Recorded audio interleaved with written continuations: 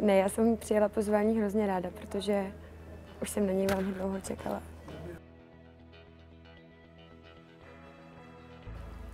No, tak eh, doufám, že nejedná žádný nepříjemné otázky a myslím si, že se budeme bavit o mém blogu hereckým a za to jsem ráda, protože většinou lidí, co aspoň trochu znají můj blog, tak na mě mluví jako na inteligentního člověka.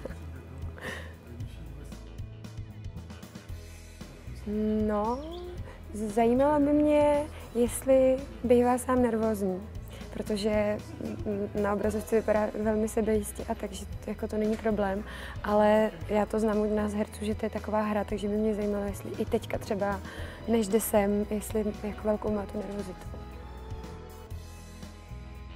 Asi se moc netěším. Já, bude to zajímavý adrenalin, ale já jsem hrozný nervák, takže já teďka tak strávím tu půl hodinku tím, že se tady budu klepat a hledat, to by mě uklidnil a, a pak už to nějak půjde.